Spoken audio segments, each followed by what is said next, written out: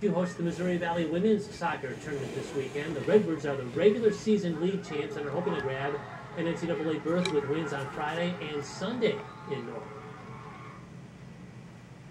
We're just really excited. This is the best time of the year. It's almost like it's Christmas uh, to a lot of us soccer players, so we're really excited. At any moment, you could be done. At any moment, something can happen. So I think it's just exciting and kind of brings the thrill, and it is kind of like Christmas. The semifinals are on Friday, and the tournament title game is set for